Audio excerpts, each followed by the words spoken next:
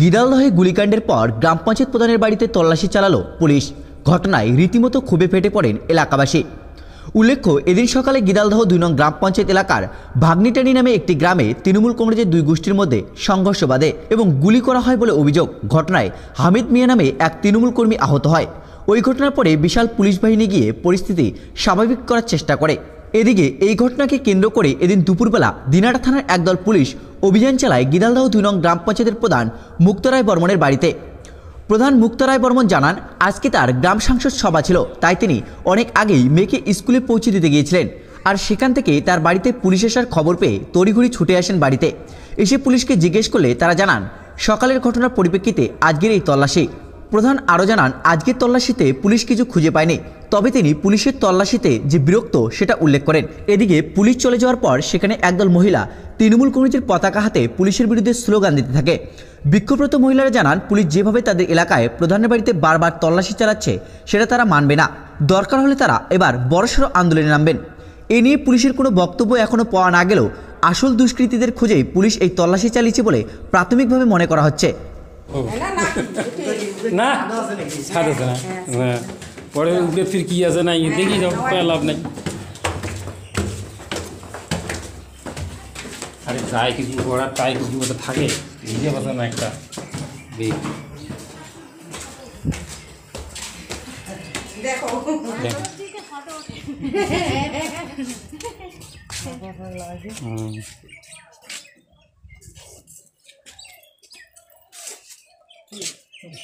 আচ্ছা পুলিশ যখন তল্লাশি চালিয়েছিল, আপনি সঙ্গে ছিলেন? হ্যাঁ আমি ছিলাম। আমি, আজকে আমাদের জিপিতে গ্রাম সংসদ সভা। তো আমার আমার মেয়েরও পরীক্ষা। আমি পরীক্ষার জন্য মেয়েকে নিয়ে স্কুলে গেছি। ওখানে গিয়ে রেখে বাড়িতে আসব, এসে একটু ইয়ে করে তারপরে আমি যাব মানে অঞ্চলে ঢুকবো। ইতিমধ্যে মানে দেখি যে গাড়ি দুটো হুড় করে আমাদের বাড়িতে ঢুকতেছে। ঢুকে আমাদের বাড়িতে ঢুকলো। ঢোকার পরে আমি গেটের বাইরে বেরোলাম বের হয়ে দেখতে পেলাম যে হ্যাঁ পুলিশ আমাদের বাড়ি হুড় করে ঢুকতেছে। আমি বলতাম, কি জন্য আসছেন? যে গীতা ইসেতে ওইদিকে মারামারি হয়েছে। ওই মারামারির জন্য এখানে তল্লাশি চালাচ্ছি। যে ওইদিকে মারামারি হচ্ছে, তো এইখানে কেন পুলিশ এসেছে? এখানে তো কিছু নেই। আমরা তো, আমিও গেছি আমার মেয়েকে স্কুলে নিয়ে, আর আমারও হাজব্যান্ড গেছে। ও আমাদের পাশে গ্রামেই মানে কাজ ক্ষেতের ওইদিকে গেছে। কি জানি, বাড়িতে তো আমাদের কেউ নেই। আপনারা কেন ওখানে এসেন কই যে আমাদের পুলিশি উপরের মানে ইয়ে আছে, আমাদের আই মানে উপরের অঙ্কের ইয়ে আছে, আমাদের তল্লাশি করতে হবে। তো আমি আমি বললাম যে, না, আপনারা তল্লাশি, এতগুলো লোক আমাদের বাড়ি তল্লাশি করতে পারেন না। তো স্যার, যাই হোক, স্যার একটু ইয়ে করে তারপরে বলল যে, আমরা দুই, চারজন গিয়ে তল্লাশি করব। তা আমি বলছি, ঠিক আছে, যদি করতে হয়, দুই, চারজন যান। গেল, গিয়ে দুই, চারজন তল্লাশি করল। কিছুই পেল না।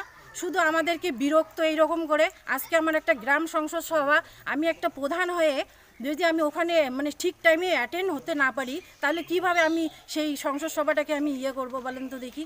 এইভাবে পুলিশের ইয়ে আমরা মানে মেনে নিতে পারছি না। আপনার নাম? আমার নাম মুক্তা বর্মন রায় আমি গীতালদার টু জিপির প্রধান বলছি। পুলিশ এখানে আসে যখন তখন প্রধানের বাড়িতে তল্লাশি করতেছে এটা আমরা মানছি না মানবো না। তল্লাশির নামে প্রধানের বাড়িতে হয়রানি মানছি না মানবো না। পুলিশ গুন্ডা তুমি মনে রেখো তল্লাশির নামে হয়রানি করা যাবে না যাচ্ছে না। তল্লাশির নামে প্রধানের বাড়িতে হয়রানি করা যাবে না যাচ্ছে না। তল্লাশির নামে প্রধানের বাড়িতে হয়রানি করা হচ্ছে কেন পুলিশ তুমি জবাব দাও। তল্লাশির নামে প্রধানের বাড়িতে হেনস্থা করা হচ্ছে কেন পুলিশ তুমি জবাব দাও। আচ্ছা কি হয়েছে? আজকে আমাদের জিপিতে সংসদ সভা। প্রধান যাওয়ার জন্য রেডি হয়েছে। আমি একটু মাঠে গেছিলাম। তারপরে শুনতে পারলাম যে পুলিশ এসেছে বাড়িতে পুলিশ সার্চ করবে। তো পুলিশ সার্চ করবে আমার বাড়ি। আমরা কি ক্রিমিনাল? তো পুলিশ সার্চ করতেই পারে। তো পুলিশ এখানে সার্চ সার্চ করেছে? করেছে তো না? সার্চ করে কি পুলিশ কি পেল? পুলিশ আদৌ কিছু পেয়েছে? তা পুলিশ এখানে কিছু পেল না। কিন্তু পুলিশ এসে একটা গীতালদা দুই নং অঞ্চলের প্রধান তার বাড়িতে এসে পুলিশ এই রকম দাদাগিরি করে যাচ্ছে গুন্ডামি করে যাচ্ছে। কোথায় গীতালদার কোন গ্রামে ঝগড়া কেচাল এটা আজকে থেকে হচ্ছে না দীর্ঘদিন ধরে হচ্ছে। সে যে জায়গায় যারা কেচাল করতেছে যে ঝগড়া করতেছে পুলিশ তাদের বিরুদ্ধে স্টেপ নিক। কিন্তু কোনো জায়গায় গ্রাম পঞ্চায়েতের সদস্য, কোনো জায়গায় প্রধান, কোনো জায়গায় কোনো নিরীহ জনগণকে যারা যারা আদৌ কোনো দিন কোনো জনগণ, এম- এমনকি আত্মীয় স্বজন কোনো বাড়িতে যদি এসে থাকে, তাদেরকেও এই আইসি সাহেব তুলে নিয়ে যাচ্ছে। এখন কথা হলো, আমরা সরকারি, আমরা সরকারগতভাবে এনাদেরকে আমাদের ট্যাক্সের টাকা দিয়ে, এনাদেরকে আমরা, আমরাই এদেরকে সরকার নিয়োগ করেছে। সরকারকে টাকা আমরা দেই ট্যাক্সের টাকা দেই। আর এই পুলিশ আমাদের উপরে নির্যাতন করতেছে যারা নিরীহ মানুষ। অ্যাকচুয়ালি এরা নিরীহ মানুষগুলোর উপরে কেন অত্যাচার করতেছে? যারা ক্রাইম করতেছে যারা অন্যায় করতেছে যারা ঝগড়া করতেছে তাদের বিরুদ্ধে স্টেপ নিক।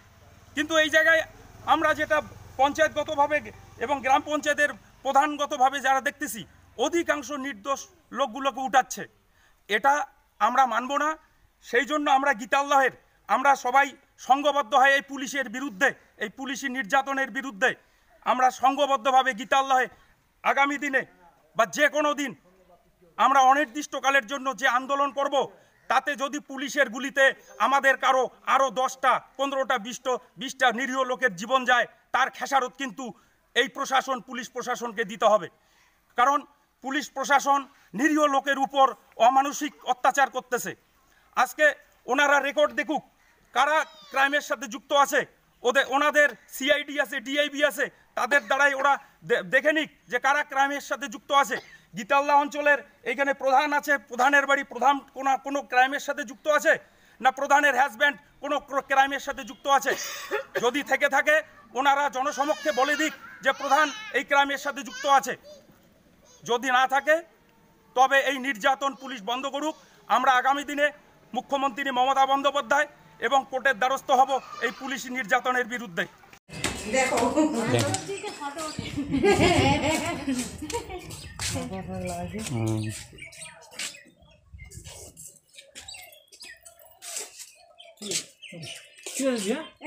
দেখলেন তো? লেবু গাছ ফুল গাছ।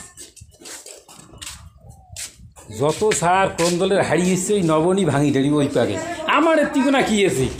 আমার এত্তি তো কিছুই নাই। তবে আপনাদেরও করার কিছু নাই। উপরতলার অর্ডার এইটি হলো প্রশ্ন।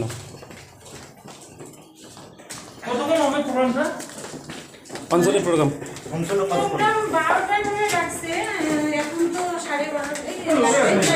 শেষ কয়টা শেষ